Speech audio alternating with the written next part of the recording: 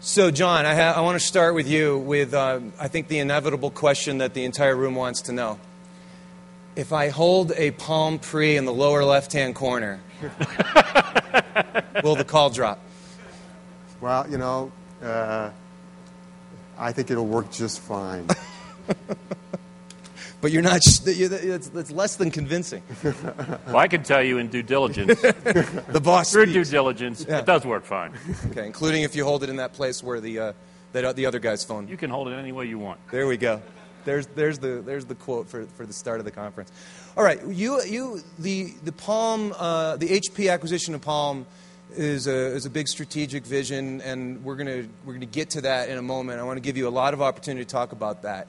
So, but let's get, let's get a little dwelling on the past out of the way, and we'll start with, we'll start with HP.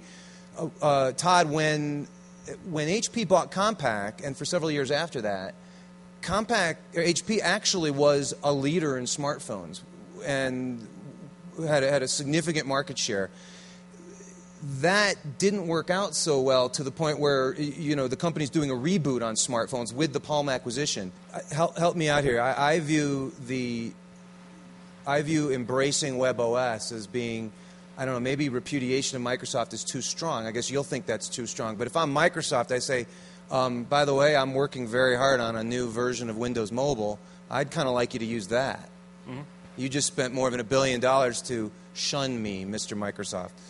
Well, I don't know. I don't know if I'd say we shun them. I, you know, we're still Microsoft's largest customer. Um, we have a deep partnership with them from from distribution to, to development that, you know, we're very very deeply committed to. At the same time, um, we believe WebOS gives us distinct advantages in those product sets where we'll launch it. You know, we're not, we don't see them as competitive at this point.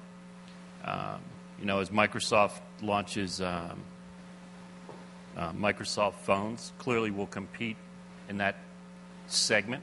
the you know the reboot of Palm was a was a was a moonshot. It was it was a very dynamic uh, uh, plan that you were going to build a, a new phone, a new operating system, and you were going to rejuvenate a company that had fallen on hard times.